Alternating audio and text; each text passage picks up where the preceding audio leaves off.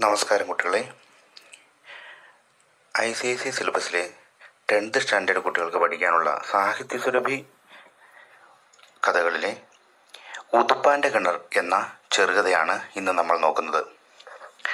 മലയാളത്തിലെ വളരെ പ്രശസ്തനായ ചെറുകഥാകൃത്ത് ശ്രീ കാരൂർ നീലകണ്ഠപിള്ള എഴുതിയ ഉതുപ്പാന്റെ കിണർ എന്ന ചെറുകഥ സാഹിത്യ മൂല്യം കൊണ്ടും സാമൂഹ്യ മൂല്യം കൊണ്ടും ജ്വലിച്ചു നിൽക്കുന്ന ഒന്നാണ്. ചെറുകഥയുടെ ആരംഭത്തിൽ വളരെ കഷ്ടപ്പെട്ട് ജീവിക്കുന്ന ഉതുപ്പാൻ എന്ന ചെറുപ്പക്കാരനെയാണ് കഥാകൃത്ത് അവതരിപ്പിക്കുന്നത്. ഹോട്ടലുകളുടെ വാതിൽക്കൽ വണ്ടിപ്പേട്ടയിൽ വള്ളക്കടവിൽ തന്നേക്കാൾ ഭാരമുള്ള ചുമടിന് കീഴെ പട്ടണം ഉറങ്ങിയാൽ പീഡിക തെണ്ണയിൽ കിടന്നുറങ്ങുന്ന ഉതുപ്പാന് ആരുമില്ലായിരുന്നു. അവന്റെ ജീവിതാവശ്യങ്ങൾ ചെറുതായിരുന്നു എങ്കിലും അവനത് വലുതായിരുന്നു. ജീവിതത്തിൽ കഷ്ടതകൾ അനുഭവിക്കുന്നവരെ ഉതുപ്പാൻ തനിക്ക് കഴിയുന്ന വിധം സഹായിക്കും. ഹൃദയത്തിന്റെ വേദന അവൻ അമർത്തി. സഹതപിക്കുന്നത് അവന്റെ നിലയിൽ അഹങ്കാരമാണ്. ഒഴിവു സമയങ്ങളിൽ പ്രാർത്ഥിക്കുകയും സുവിശേഷം കേൾക്കുകയും പിന്നീട് വഴിവെക്കിൽ നിന്ന് വേദോപദേശം ചെയ്യ ചെയ്യുകയും ശിശുക്കൾക്ക് യേശുക്കഥകൾ പറഞ്ഞു കൊടുക്കുക പറഞ്ഞു കൊടുത്തും കാലം കടന്നുപോയി. നഗരത്തിന്റെ ഒരു മൂലയിൽ പുതുതായി നിർമ്മിക്കപ്പെട്ട ഒരു റോഡിനാൽ ത്രികോണാകൃതി പ്രാപിച്ച ഒരു തുണ്ട് ഭൂമി ഭൂമി വാങ്ങി. അതിൽ അയാൾ ഒരു കിണർ കുഴിക്കുന്നു. തനിയെ കുഴിച്ച് വേണ്ടി വന്നപ്പോൾ ഒരു കൂലിക്കാരനെയും കൂട്ടി. ഇവൻ എന്തൊരു ഭ്രാന്തനാണെന്നും വല്ല നിധിയും കിട്ടുമെന്ന് വിചാരിച്ചാണ് പാവം പാടുപെടുന്നതെന്നും ചിലർ അവനെ പരിഹസിച്ചു. അതൊന്നും ഉതുപ്പാനെ തളർത്തിയില്ല. കിണറ്റിൽ വെള്ളം കണ്ട ദിവസം കൂട്ടുവേലക്കാരന് നാല് ചക്രം സമ്മാനമായി കൂലി നൽകി ഉതുപ്പാൻ. കിണറിലെ വെള്ളം നോക്കി ഉതുപ്പാൻ ആത്മനിർവൃതി കൊള്ളുന്നു. വഴിയെ പോയവരോടെല്ലാം വെള്ളം കണ്ട കഥ പറയുന്നു. അയൽപക്കത്തുള്ള ഒരു കിഴവി പറയുകയാണ് "ഹും, ആ തെമ്മാടി വഴിയുടെ വക്കിനൊരു കിണർ കുഴിച്ചിട്ടിരിക്കുന്നു. പശുവിനെ അഴിച്ചുവിട്ടാൽ കൂടെ കൂടെ നോക്കണേ പിള്ളേരെ എന്ന്. ഉതുപ്പൻ കൂലിവേല ചെയ് കൂലിവേലയ്ക്ക് പോയി കിട്ടുന്ന കാശ് കൊണ്ട് കിണർ കെട്ടിക്കുകയും അരഞ്ഞാണവും മതിലും കൽത്തൂണും കെട്ടി കിണറ്റ് പാലവും വെച്ച് അതിന്മേലൊരു കുരിശടയാളയും വെച്ച് ഇങ്ങോട്ട് വരുവിൻ ഇവിടെ ആശ്വസിക്കാം എന്നെഴുതി. ഒരു കപ്പി കൊളുത്തി തൊട്ടിയും കയറുമിട്ടു അപ്പോൾ അയാൾക്കുണ്ടായ ആത്മനിർവൃതി പറഞ്ഞറിയിക്കാൻ കഴിയാത്തതായിരുന്നു.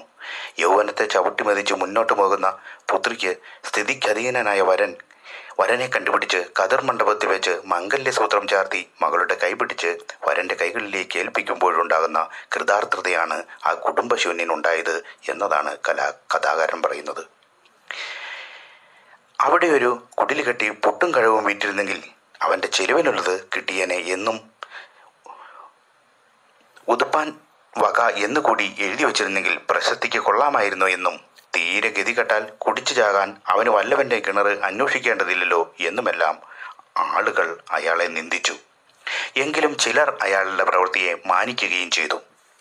രണ്ടു വശത്തു നിന്നും വെള്ളം കോരുവാനുള്ള സൗകര്യവും പശുക്കൾക്കും പക്ഷിമൃഗാദികൾക്കും വെള്ളം കുടിക്കുവാൻ ഒരു കൽത്തൊട്ടിയും മഴ നനയാതെ വെള്ളം കോരുവാനൊരു മേൽപ്പുരയും എല്ലാം അയാൾ കാലക്രമേണ ഉണ്ടാക്കി. കിണർ കുഴിപ്പിക്കുവാൻ കഴിയില്ലാത്തവർ ആ വഴിക്കിണറിൽ നിന്നും വെള്ളം കോരി പലരും കുളി തന്നെ ആ കിണറ്റിലും കരയിലേക്കാക്കി. കുട്ടികൾ അതിൽ കല്ലിട്ട് അതിന്റെ മാറ്റൊലി കേട്ടു രസിച്ചു. ഉതുപ്പാൻ എന്നും കിണറും പരിസരവും വൃത്തിയാക്കും. വെള്ളം കോരി കൽത്തൊട്ടി നിറയ്ക്കും. ആരെങ്കിലും വെള്ളം കുടിക്കുന്നത് കാണുമ്പോൾ അയാളുടെ ഹൃദയം ഉൾപ്പുളകം കൊള്ളും. പട്ടണം വളർന്നപ്പോൾ നഗരസഭയുടെ ശുദ്ധവല വിതരണത്തിന് ജലക്കുഴലുകൾ സ്ഥാപിച്ചു. അതിനായി ചാൽ തോണ്ടിയവർ ആ വഴിക്കിണറിന്റെ ചുറ്റുതറ കുറെ പൊളിച്ചു കളഞ്ഞു ഉതുപ്പാന്റെ ഹൃദയം നൊന്തു. ആ കൊറ്റം തീർത്തതല്ലാതെ അയാൾ അടുത്ത ദിവസം പള്ളിയിൽ പോയില്ല. നഗരത്തിലെ ജലധാരകളെല്ലാം മുപ്പത് ദിവസത്തിനകം മൂടണമെന്നും അങ്ങനെ ചെയ്യാത്ത പക്ഷം നഗരസഭ അത് ചെയ്യുമെന്നും ചിലവ് ഉടമസ്ഥനിൽ നിന്ന് ഈടാക്കുമെന്നും നഗരസഭ പരസ്യപ്പെടുത്തി. ഉതുപ്പാന്റെ കിണറും മൂടണം. അയാൾ നഗരസഭയെയും ഗവൺമെന്റിനെയും സമീപിച്ചു. അവരാരും അയാളെ ചെവിക്കൊണ്ടില്ല. അയാൾ നഗരസഭയുടെ നേരെ പല്ലുഞ്ഞരിച്ചു കുഴൽ വെള്ളം കിട്ടിയപ്പോൾ എല്ലാവരും ഉതുപ്പാനെ മറന്നു. എല്ലാവരും ഉതുപ്പാന്റെ കിണറും മറന്നു. എങ്കിലും ഇപ്പോഴും മറക്കാത്തവരുണ്ട്. അതിൽ കല്ലിട്ട് കളിക്കുന്ന കുട്ടികൾ മാത്രം. കിണർ മൂടാൻ മിത്രങ്ങൾ കൂടി യത്നിച്ചപ്പോൾ സ്വന്തം ആളുകളും തനിക്ക് എതിരാണല്ലോ എന്നോർത്ത് ആ വൃദ്ധൻ അത്യന്ത സങ്കടപ്പെട്ടു. കിണർ മൂടേണ്ട അവസാന ദിവസവും ഇരുളിലാണ്ടു. ഒതുപ്പാൻ കിണറ്റുകരെ ചെന്നു. അവിടെല്ലാം അടിച്ചു വാരി വൃത്തിയാക്കി അതിനെ പല പ്രാവശ്യം വലം വെച്ചു. എത്ര സമയം അങ്ങനെ കഴിഞ്ഞുവെന്ന് അയാൾ അറിഞ്ഞില്ല. ആ കിണർ കുഴിച്ച കൈകൊണ്ട് തന്നെ അത് നികത്തുക. പിന്നെയും ജീവിച്ചിരിക്കുക. ആ വൃദ്ധ നേത്രങ്ങൾ കവിഞ്ഞൊഴുകി. അയാൾ ആ കിണറ്റുമായി മതിലിൽ കയറി. പൊട്ടാൻ തുടങ്ങുന്ന മാറിടത്തെ അയാൾ കിണ ആ കുരിശടയാളത്തോട് ചേർത്ത് വെച്ചു. ഹൃദയം തമ്പേറടിച്ചു. ഇങ്ങോട്ട് വരുവിൻ. ഇവിടെ ആശ്വസിക്കാം. എന്നാരെങ്കിലും ആ ലോകോപകാരിയെ ക്ഷണിച്ചോ. ഉതുപ്പാൻ അറിഞ്ഞുകൊണ്ടാണോ എന്നറിയില്ല. ആ കിണറ്റിലേക്ക് പതി പതിച്ച ഉതുപ്പാനെ ആ തെളിനീർ മാറോടണച്ചു. അയാൾ സ്വന്തം കിണറ്റിൽ നിന്ന് അന്ത്യമായി ജലപാനം ചെയ്തു. ആ കിണർ ഉതുപ്പാന്റെ ജീവനെ വിശ്വസ്തയോടെ മാറോടണച്ചു. ഗോപനം ചെയ്തു. ഇതാണ് ഇതിന്റെ കഥാസംഗ്രഹം. ഇനി നമുക്ക് അടുത്തത് ഇതിന്റെ മൾട്ടിപ്പിൾ ചോയ്സ് ക്വസ്റ്റ്യൻ ആൻസേഴ്സ് നോക്കാം. ഉതുപ്പാന്റെ കിണർ സാഹിത്യ സുരഭി കഥ ഒന്നാമത്തെ ക്വസ്റ്റ്യൻ ഹോട്ടലുകളുടെ വാതിൽക്കൽ വണ്ടിപ്പേട്ടയിൽ വള്ളക്കടവിൽ തന്നേക്കാൾ ഭാരമുള്ള ചൂണ്ടിന് കീഴെ പട്ടണം ഉറങ്ങിയാൽ പീഡികത്തെണ്ണയിൽ ആര്? ഉത്തരം ഉതുപ്പാൻ രണ്ട് സഹത് പതിക്കുന്നത് അവന്റെ നിലയിൽ എന്താണ്? ഉത്തരം അഹങ്കാരം. അവന്റെ ജീവിതാവശ്യങ്ങൾ ലഘുവാണ് എങ്കിലും അവനത് ഗുരുവാണ്. ആർക്ക്? ഉതുപ്പാന്. ഉദരത്തിന്റെ പരാതി ഉതുപ്പാന് എന്താണ്? ഉറക്കുപാട്ട് ഉത്തരം ഉറക്കുപാട്ട്. തങ്ങൾക്ക് ഒരു താങ്ങാകുമെന്നോർത്ത് സന്തോഷിച്ചേനെ ആര്? ഉത്തരം അച്ഛനമ്മമാരുണ്ടായിരുന്നെങ്കിൽ അവർ. ആറാമത്തെ ചോദ്യം. ഉതുപ്പാൻ പ്രാർത്ഥിക്കുകയും സുവിശേഷം പ്രസംഗിക്കുകയും ചെയ്തതെപ്പോൾ? ഉത്തരം ഒഴിവു സമയങ്ങളിൽ. ഏഴാമത്തെ ചോദ്യം. നഗരത്തിന്റെ മൂലയിൽ എന്തിനാൽ ത്രികോണാകൃതി പ്രാപിച്ച സ്ഥലമായിരുന്നു അത്? ഉത്തരം പുതുതായി നിർമ്മിച്ച റോഡിനാൽ. എട്ടാമത്തെ ചോദ്യം. സ്വന്തമായി വേല തുടങ്ങി എന്തു വേല? ഉത്തരം കിണർ കുഴിക്കൽ. ഒമ്പതാമത്തെ ചോദ്യം. വല്ല നിധിയും കിട്ടുമെന്ന് വെച്ചാണ് ഇവൻ പാടുപെടുന്നത്. ആര്? ഉത്തരം ഉതുപ്പാൻ. ഉതുപ്പാന്റെ വിശാല ഹൃദയത്തിൽ തിരമാലകൾ ഉണ്ടാക്കിയത് എന്ത്? ഉത്തരം കൂപത്തിലുണ്ടായ ചിറ്റോളം. പതിനൊന്നാമത്തെ ചോദ്യം. കൂലിവേലക്കാരന് നാല് ചക്രം കൂടുതൽ കിട്ടിയത് എപ്പോൾ? ഉത്തരം കിണറ്റിൽ വെള്ളം കണ്ടപ്പോൾ. പന്ത്രണ്ടാമത്തെ ചോദ്യം. ഉതുപ്പാന് ഉറക്കുപാട്ടായത് എന്ത്? ഉത്തരം ഉദരത്തിന്റെ പരാതി. പതിമൂന്നാമത്തെ ചോദ്യം. ഉതുപ്പാന്റെ നിലയിൽ അഹങ്കാരമായതെന്ത്? ഉത്തരം സഹതപിക്കുന്നത്. പതിനാലാമത്തെ ചോദ്യം. സഹോദരങ്ങളെ സഹായിക്കുവാൻ അവന് മോഹമുണ്ട് പക്ഷേ ഉത്തരം കഴിവില്ല. പതിനഞ്ചാമത്തെ ചോദ്യം. കേൾവിക്കാർക്ക് രസം തോന്നിയെങ്കിലും അവൻ അന്ന് കണ്ടവരോടൊക്കെ പറഞ്ഞത് എന്ത്? ഉത്തരം കിണറ്റിൽ വെള്ളം കണ്ടത്. പതിനാറാമത്തെ ചോദ്യം. അവന്റെ ഹൃദയത്തിന്റെ അടുത്തിട്ട് കാണാനെന്ന വണ്ണം ചുഴിഞ്ഞിറങ്ങിയത് എന്ത്? ഉത്തരം കിണർ. കുട്ടികൾ കിണറ്റിൽ കല്ലിട്ട് കല്ലിട്ട് എന്തു ചെയ്തു? ഉത്തരം മാറ്റൊലി കേട്ട് രസിച്ചു. പതിനെട്ടാമത്തെ ചോദ്യം. ആ തെമ്മാടി വഴിവക്കിന് ഒരു കിണർ കുഴിച്ചിട്ടിരിക്കുന്നു. പശു പശുവിനെ അഴിച്ചുവിട്ടാൽ കൂടെ കൂടെ നോക്കണേ പിള്ളേരെ പറഞ്ഞതാര്? അയൽവക്കത്തെ കിഴവി. പത്തൊമ്പതാമത്തെ ചോദ്യം. കിണർ അടിവരെ താഴ്ന്നതോടെ ഉതുപ്പാന്റെ മടിശൈലിയുടെ ഉത്തരം നെല്ലിപ്പലക കണ്ടു. ഇത് ഒരു ശൈലി കൂടിയാണ്. അത് നിങ്ങൾ പ്രത്യേകം ശ്രദ്ധിക്കണം. ശൈലികളൊക്കെ നമുക്ക് പ്രത്യേകം പഠിക്കാനുണ്ട്. അത് വ്യാകരണ ഭാഗത്തിൽ വരുന്നതാണ്. നെല്ലിപ്പലക കാണുക എന്ന് പറഞ്ഞാൽ അടുത്തിട്ട് കാണുക. അതിന്റെ ക്ഷമമാണ് നശിക്കുക എന്നൊക്കെ അതിനർത്ഥമുണ്ട്. കാരണം എത്താവുന്നതിന്റെ മാക്സിമം എത്തുക മാക്സിമം ക്ഷമിക്കുക സഹിക്കുക എന്നൊക്കെ ആ ശൈലിക്ക് അർത്ഥമുണ്ട്. അതാണ് ഇവിടെ പറയുന്നത്. അതായത് അദ്ദേഹത്തിന്റെ പോക്കറ്റിലുണ്ടെന്ന് ധനം മുഴുവൻ തീർന്നു എന്നാണ് പറഞ്ഞുകൊണ്ട് അർത്ഥമാക്കുന്നത്. ഇരുപതാമത്തെ ക്വസ്റ്റ്യൻ എത്ര ദിവസം കൂലിവേല ചെയ്ത് കിട്ടുന്നത് കൊണ്ടാണ് ഒതുപ്പാൻ കിണർ കിട്ടുന്ന ജോലി നടത്തിയത്? ഉത്തരം മുപ്പത് ദിവസം. മുപ്പത് ദിവസം കൂലിവേല ചെയ്ത് കിട്ടുന്ന മിച്ചം കൊണ്ട് ഉതുപ്പാൻ എത്ര ദിവസമാണ് കിണർ കിട്ടുന്ന ജോലി നടത്തിയത്? ഉത്തരം മൂന്ന്. അവിടെ ഒരു കുടിൽ കെട്ടി പുട്ടും പഴവും വിറ്റിരുന്നെങ്കിൽ അവന്റെ ചെലവിനുള്ളത് കിട്ടിയേനെ എന്ന് പരിഹസിച്ചവർ എന്താണ് ഉദ്ദേശിച്ചത്? ഉതുപ്പാന്റെ ബുദ്ധിശൂന്യതയെ. ഉത്തരം ഉതുപ്പാന്റെ ബുദ്ധിശൂന്യതയെ എന്നാണ്. ഇരുപത്തിമൂന്നാമത്തെ ചോദ്യം. ഉതുപ്പാൻ വക എന്നുകൂടി എഴുതി വെച്ചിരുന്നെങ്കിൽ പ്രസിദ്ധിക്ക് കൊള്ളാമായിരുന്നു എന്നൊരു കൂട്ടർ. ഉത്തരം അസൂയപ്പെട്ടു. ഇരുപത്തിനാലാമത്തെ ചോദ്യം. തീരെ ഗതികെട്ടാൽ കുടിച്ചു ചാകാൻ അവന് വല്ലവരുടെയും കിണർ അന്വേഷിക്കേണ്ടതില്ല എന്നൊരു രസികൻ. ഉത്തരം നിന്ദിച്ചു. ഇരുപത്തിയഞ്ചാമത്തെ ചോദ്യം. കാൽത്തൊട്ടി ഉണ്ടാക്കിയിടണം. എന്തിനാണെന്ന് അയാൾ പറയുന്നത്? ഉത്തരം പശുക്കൾക്ക് വെള്ളം കുടിക്കാൻ. ഇരുപത്തിയാറാമത്തെ ചോദ്യം. മഴ നനയാതെ നിന്ന് വെള്ളം കോരുവാൻ എന്തുകൂടി പണിതു? ഉത്തരം മേൽപുര ഇരുപത്തിയേഴാമത്തെ ചോദ്യം. ചപ്പും ചവറും കല്ലുവിട്ട് രസിച്ചത് ആര്? ഉത്തരം കുട്ടികൾ. ഇരുപത്തിയെട്ടാമത്തെ ചോദ്യം. ഒരു ദുരാഗ്രഹിയും മറ്റൊരു പാപിയും എന്താണ് ചെയ്തത്?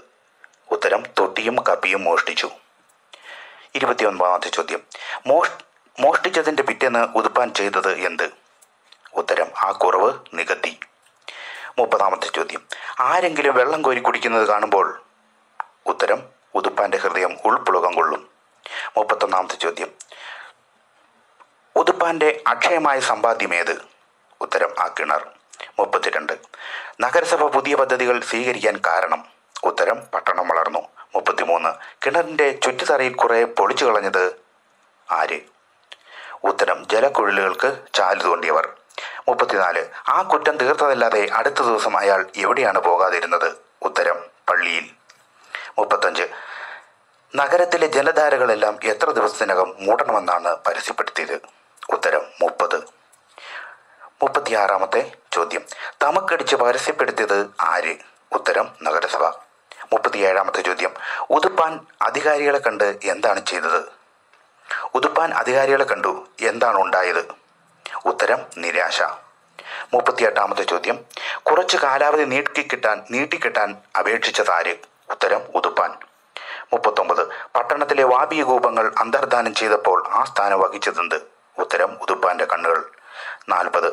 ഉപയോഗശൂന്യമായ കിണറിൽ കൊതുക് പെരുകി പൊതുജനാരോഗ്യം നശിക്കുമെന്ന് ഉപദേശിച്ച് സമാധാനപ്പെടുത്തുവാനായി യത്നിച്ചത് ആര്? ഉത്തരം ഉതുപ്പാന്റെ മിത്രങ്ങൾ. നാൽപ്പത്തി ഒന്നാമത്തെ ചോദ്യം. ആ വൃദ്ധനെ അത്യന്തം വ്യാകുലപ്പെടുത്തിയത് എന്ത്? ഉത്തരം സ്വന്തം ആളുകളും തനിക്ക് ശത്രുക്കൾ ആയത്. നാൽപ്പത്തി മൂന്ന് ആരെയാണ് നിദ്രാവതി ആരെയാണ് നിദ്രാദേവി തഴുകിയത്? ഉത്തരം വികാര വൈവശമില്ലാത്തവരെ നാൽപ്പത്തി മൂന്നാമത്തെ ചോദ്യം. തപിച്ച് ദ്രവിച്ച് നേത്രങ്ങളിൽ കൂടി നിർഗമിച്ച് മാറിടത്തെ മൂടിയ നരച്ച താടിയിലൂടെ തൂങ്ങിയത് എന്ത്? ഉത്തരം ഉതുപ്പാന്റെ ഹൃദയം. നാൽപ്പത്തിനാല് ആത്മാവിന്റെ ഗതിക്ക് മാർഗമെന്ന് ഉതുപ്പാൻ കരുതിയ പുണ്യവസ്തു ഏത്? ഉത്തരം കിണർ. നാൽപ്പത്തിയഞ്ച് ആ ദുർബലന്റെ കാൽപെരുമാറ്റം നിശ്ചലമോ? നിലച്ചതെപ്പോൾ? ആ ദുർബലന്റെ കാൽപെരുമാറ്റം നിലച്ചതെപ്പോൾ? ഉത്തരം മനസ്സിന്റെ ആട്ടം നിന്നതോടെ. നാൽപ്പത്തിയാറ്. ചന്ദ്രൻ ചോദ്യരൂപത്തിൽ എവിടെ നിന്നാണ് എത്തി നോക്കിയത് ഉത്തരം ഇന്ദ്രദിക്കിൽ നിന്ന്. നാൽപ്പത്തിയേഴ്. അയാൾ കുരിശടയാളത്തോട് ചേർത്ത് വെച്ചതെന്ത്? ഉത്തരം പൊട്ടാൻ തുടങ്ങുന്ന മാറിടത്തെ. നാൽപ്പത്തിയെട്ട്. അവന്റെ തല താങ്ങുവാനുള്ള ശ്രദ്ധ എന്തിനാണ് ഇല്ലാതെ പോയത്? ഉത്തരം ഉതുപ്പാന്റെ കഴുത്തിന്. നാൽപ്പത്തിയൊമ്പത്. ഇങ്ങോട്ട് വരുവിൻ ഇവിടെ ആശ്വസിക്കാം എന്നാരെങ്കിലും ആ എന്നാരെങ്കിലും ആരെ ക്ഷണിച്ചോ എന്നാണ് കഥാകാരൻ പറയുന്നത്. നാൽപ്പത്തി ഒന്നാം ഒമ്പതാമത്തെ ചോദ്യം ഒന്നറ വായിക്കാം. ഇങ്ങോട്ട് വരുവിൻ ഇവിടെ ആശ്വസിക്കാം എന്ന് ആരെങ്കിലും ആരെ ക്ഷണിച്ചോ എന്നാണ് കഥാകാരൻ പറയുന്നത്. ഉത്തരം ആ ലോകോപകാരിയെ ആ ലോകോപകാരി അത് ലോകത്തിന് ഉപകാരം ചെയ്ത ആളാണ് ഉതുപ്പാൻ എന്നാണ് സൈലന്റ് ആയിട്ട് എന്റെ അർത്ഥം വരുന്നത്. അഞ്ച് അമ്പതാമത്തെ ചോദ്യം. ആ കിണർ ഉതുപ്പാന്റെ രഹസ്യ രഹസ്യത്തെ വിശ്വസ്തയോടെ എന്താണ് ചെയ്തത്? അമ്പതാമത്തെ ചോദ്യം ആ കിണർ ഉതുപ്പാന്റെ രഹസ്യത്തെ വിശ്വസ്തയോടെ എന്താണ് ചെയ്തത്? ഉത്തരം ഗോപനം ചെയ്തു. ഗോപനം ചെയ്യുക എന്ന് പറഞ്ഞാൽ മറച്ചു പിടിക്കുക ഉള്ളിലാക്കുക എന്നൊക്കെയാണ് അതിന്റെ അർത്ഥം. മറച്ചു പിടിക്കുക എന്നാണ് ശരിയായിട്ടുള്ള മീനിങ് എന്ന് പറഞ്ഞാൽ കിണറ്റിലേക്ക് അദ്ദേഹം ആഴ്ന്നാഴ്ന്നു പോയി എന്നാണ് അതിന്റെ അർത്ഥം. നമുക്ക് ഇനി അടുത്തത് അനോട്ടേഷൻസ് ആണ്. അത് നോക്കാം. ഉതുപ്പാന്റെ കിണർ കാരൂർ നീലകണ്ഠപിള്ള. ഒന്നാമത്തെ അനോട്ടേഷൻ ആ ചെറുനഗരത്തിൽ പലയിടത്തും ഉതുപ്പാനെ കാണാം. ഹോട്ടലുകളുടെ വാതിൽക്കൽ വണ്ടിൽപേട്ടയിൽ വള്ളിക്കടവിൽ തന്നേക്കാൾ ഭാരമുള്ള ചൂണ്ടിന് കീഴെ പട്ടണം ഉറങ്ങിയാൽ പീഡികത്തെണ്ണയിൽ അവൻ കഴിയും മട്ടിൽ പണിയെടുക്കും. കിട്ടുന്നത് കൊണ്ട് ഉപജീവിക്കും. ഉതുപ്പാന് ആരുമില്ല. എങ്കിലും ആ തരുണൻ കരുതും തനിക്കും ചില ചുമതലകളുണ്ട് എന്ന്. ഒന്നാമത്തെ ചോദ്യം. ഉതുപ്പാൻ തന്റെ സമ്പാദ്യം ഉപയോഗിച്ച് എന്താണ് വാങ്ങിയത്? രണ്ടാമത്തെ ചോദ്യം. അയാൾ ആ മൂന്ന് സെന്റിൽ എന്തെല്ലാം ചെയ്തു? മൂന്നാമത്തെ ചോദ്യം. കിണർ കുഴിച്ച് ഉതുപ്പാനെ മറ്റുള്ളവർ പരിഹസിച്ചതെങ്ങനെ? നാലാമത്തെ ചോദ്യം. ഉതുപ്പാന്റെ കിണർ ആളുകൾ എങ്ങനെയെല്ലാം പ്രയോജനപ്പെടുത്തി? ഒന്നാമത്തെ ചോദ്യമായ ഉതുപ്പാൻ തന്റെ സമ്പാദ്യം ഉപയോഗിച്ച് എന്താണ് വാങ്ങിയത് എന്നുള്ളതിന്റെ ആൻസർ നോക്കാം. ഉത്തരം. നഗരത്തിന്റെ മൂലയിൽ പുതുതായി നിർമ്മിക്കപ്പെട്ട ഒരു റോഡിന് ത്രികോണാകൃതി പ്രാപിച്ച ഒരു തുണ്ട് സ്ഥലം വാങ്ങുകയാണ് ഉതുപ്പാൻ ചെയ്തത്. മൂന്ന് സെന്റ് സ്ഥലം മാത്രമായിരുന്നു ഇത്. തന്റെ സമ്പാദ്യം ഉപയോഗിച്ച് ഉതുപ്പാൻ വാങ്ങിയത് ഇതായിരുന്നു. രണ്ടാമത്തെ ചോദ്യം. അയാൾ ആ മൂന്ന് സെന്റ് സ്ഥലത്തിൽ എന്ത് ചെയ്തു? അയാൾ ആ ത്രികോണാകൃതി പ്രാപിച്ച സ്ഥലത്ത് എന്ത് ചെയ്തു എന്നാണ് ചോദ്യം. രണ്ടാമത്തെ ചോദ്യത്തിന്റെ ആൻസർ ഉതുപ്പൻ ആ മൂന്ന് സെന്റ് സ്ഥലത്ത് ഒരു കിണർ കുഴിപ്പിച്ചു. കിണറിന് ചുറ്റുമതിലും കൽത്തൂണും കെട്ടി. കിണറ്റ് പാലവും വെച്ച് ഒരു കപ്പി കൊളുത്തി തൊട്ടിയും കയറുമിട്ട് ഇങ്ങോട്ട് വരുവിൻ ഇവിടെ ആശ്വസിക്കാം എന്ന് എഴുതിയൊരു ബോർഡും വെച്ചു. പിന്നീട് ഇരുവശത്തു നിന്നും വെള്ളം കോരുവാൻ സൗകര്യമൊരുക്കി പശുക്കൾക്ക് വെള്ളം കുടിക്കാൻ ഒരു കൽത്തൊട്ടി ഉണ്ടാക്കിയിട്ടു മഴ നനയാതിരിക്കാൻ ഒരു മേൽപ്പുരയും ഉണ്ടാക്കി. ഇത്രയും കാര്യങ്ങൾ മൂന്ന് സെന്റ് സ്ഥലത്തിൽ ആ തുണ്ടുഭൂമിയിൽ ആ ത്രികോണാകൃതി പ്രാപിച്ച ആ തുണ്ടുഭൂമിയിൽ ഉതുപ്പാൻ ചെയ്തു. മൂന്നാമത്തെ ചോദ്യം. കിണർ കുഴിച്ച ഉതുപ്പാനെ മറ്റുള്ളവർ പരിഹസിച്ചത് എങ്ങനെ എന്നാണ്. കിണർ കുഴിച്ച ഉതുപ്പാനെ പലരും കളിയാക്കി. ഇവൻ എന്തൊരു ഭ്രാന്തനായെന്നും വല്ല നിധിയും കിട്ടുമെന്ന് വെച്ച ആ പാവം കുഴിയെടുക്കുന്നതെന്നും ആളുകൾ കിണർ കുഴിക്കുന്നത് കണ്ടപ്പോൾ കളിയാക്കി. അയൽപക്കത്തെ കിഴിവി പറയുകയാണ് ആ തെമ്മാടി വഴിയുടെ വക്കിനൊരു കിണർ കുഴിച്ചിട്ടിരിക്കുന്നു. പശുവിനെ അഴിച്ചുവിട്ടാൽ കൂടെ കൂടെ നോക്കണേ പിള്ളേരെ എന്ന്. അതുപോലെ അവിടെ ഒരു കുടിൽ കെട്ടി പുട്ടും പഴവും വീട്ടിരുന്നെങ്കിൽ അവന്റെ ചെലവിനുള്ളത് കിട്ടിയേനെ എന്നും വേറൊരാൾ അഭിപ്രായപ്പെട്ടു. തീരെ ഗതി കെട്ടാൽ അവന് വെള്ളം കുടിച്ച് ചാകുവാൻ വല്ലവന്റെയും കിണർ അന്വേഷിക്കേണ്ടതില്ലല്ലോ എന്ന് വേറൊരാളും ഉതുപ്പാനെ പരിഹസിച്ചു. നാലാമത്തെ ചോദ്യം. ഉതുപ്പാന്റെ കിണർ ആളുകൾ എങ്ങനെയെല്ലാം പ്രയോജനപ്പെടുത്തി? കിണർ കുഴിപ്പിക്കാൻ കഴിവില്ലാത്തവർ ഉത്തരം കിണർ കുഴിക്കാൻ കുഴിപ്പിക്കാൻ കഴിവില്ലാത്തവർ ആ വഴിക്കിണറിൽ നിന്നും വെള്ളം കോരി പലരും കുളി തന്നെ ആ കിണറ്റിന് കയറിയിലാക്കി കുട്ടികൾ അതിൽ കല്ലിട്ട് അതിന്റെ മാറ്റൊലി കേട്ട് രസിച്ചു. നാൽക്കാലി മൃഗങ്ങൾ കിണറ്റിന്റെ കരയിൽ കൽത്തൊട്ടിയിൽ നിന്നും വെള്ളം കുടിക്കുകയും ചെയ്തു. ഇതാണ് ഫസ്റ്റിലത്തെ അനോട്ടേഷൻസും അതിന്റെ ആൻസേഴ്സും ഇനി രണ്ടാമത്തെ അനോട്ടേഷൻ ജലക്കുഴലുകൾ സ്ഥാപിക്കാൻ ചാൽ തോണ്ടിയ വേലക്കാർ ആ കിണറ്റിന്റെ ചുറ്റുതറയിൽ കുറെ പൊളിച്ചു കളഞ്ഞു. ഉതുപ്പന്റെ ഹൃദയം നൊന്തു. ആ കുറ്റം തീർത്തതല്ലാതെ അടുത്ത ദിവസം അയാൾ പള്ളിയിൽ പോയില്ല. ഒന്നാമത്തെ ചോദ്യം നഗരസഭ പരസ്യപ്പെടുത്തിയത് എന്ത്? രണ്ടാമത്തെ ചോദ്യം കിണർ മൂടാതിരിക്കാനായി മൂടാതിരിക്കാനായുള്ള എന്തെല്ലാം കാര്യങ്ങൾ ചെയ്തു? മൂന്നാമത്തെ ചോദ്യം കിണർ മൂടേണ്ട അവസാന ദിവസം ഉതുപ്പാൻ ചെയ്തതെന്ത്? നാലാമത്തെ ചോദ്യം ഉതുപ്പാന്റെ അന്ത്യം എങ്ങനെയായിരുന്നു? ഒന്നാമത്തെ ചോദ്യം നഗരസഭ പരസ്യപ്പെടുത്തിയത് എന്ത്? ആൻസർ നഗര നഗരത്തിലുള്ള ജലധാരകളെല്ലാം മുപ്പത് ദിവസത്തിനകം മൂടണമെന്നും അങ്ങനെ ചെയ്യാത്ത പക്ഷം നഗരസഭ ആ ജോലി ചെയ്യുമെന്നും ചെലവ് ഉടമസ്ഥന്റെ ഉടമസ്ഥനിൽ നിന്ന് ഈടാക്കുമെന്നുമാണ് നഗരസഭ പരസ്യം ചെയ്തത്. ശുദ്ധജല വിതരണത്തിന് നഗരസഭ കുടൽ ജല വിതരണ പദ്ധതി നടപ്പിലാക്കിയിരുന്നു. രണ്ടാമത്തെ ചോദ്യം കിണർ മൂടാതിരിക്കാനായി അയാൾ എന്തെല്ലാം കാര്യങ്ങൾ ചെയ്തു? ഉത്തരം കിണർ മൂടാതിരിക്കാൻ ഉതുപ്പാൻ അധികാരികളെ കണ്ടു. അവിടെ നിരാശയാണ് ഉണ്ടായത്. എങ്കിൽ കുറച്ച് കാലാവധി നീട്ടിത്തരുവാൻ അയാൾ അപേക്ഷിച്ചു. അതും ഫലിച്ചില്ല. അയാൾ നഗരസഭയുടെ നേരെ കോപിച്ച് പല്ല് ഞെരിച്ചു. പിന്നീട് അയാൾ സർക്കാരിൽ സങ്കടം ബോധിപ്പിച്ചു. ഗവൺമെന്റും അയാളെ കൈയൊഴിഞ്ഞു എന്തു വന്നാലും കിണർ മൂടുകയില്ലെന്ന് അയാൾ ഷഠിച്ചു മൂന്നാമത്തെ ക്വസ്റ്റ്യൻ കിണർ മൂടേണ്ട അവസാന ദിവസം ഉതുപ്പാൻ ചെയ്തത് എന്ത്? കിണർ മൂടേണ്ട അവസാന ദിവസം ഇരുട്ട് വീണപ്പോൾ ഉതുപ്പാൻ തന്റെ കിണറ്റിൻ കരയിൽ ചെന്നു. അവിടമെല്ലാം തൂത്തു വൃത്തിയാക്കി. അതിന് പല ഒരു വലം വെച്ചു. എത്ര സമയം അങ്ങനെ കഴിഞ്ഞെന്ന് അയാൾ അറിഞ്ഞില്ല. ആ വൃദ്ധ നേത്രങ്ങൾ കവിഞ്ഞൊഴുകി. അയാൾ പിന്നീട് കിണറിന്റെ മതിലിൽ കയറി പൊട്ടാൻ തുടങ്ങുന്ന മാറിടത്തെ കിണറ്റിലെ കുരിശടയാളത്തോട് ചേർത്ത് വെച്ചു. ഒടുക്കം ആ കിണറ്റിൽ ഉതുപ്പാന്റെ ജീവനെ ഒടുക്കം ആ കിണർ ഉതുപ്പാന്റെ ജീവനെ രണ്ട് കൈയും നീട്ടി സ്വീകരിച്ചു.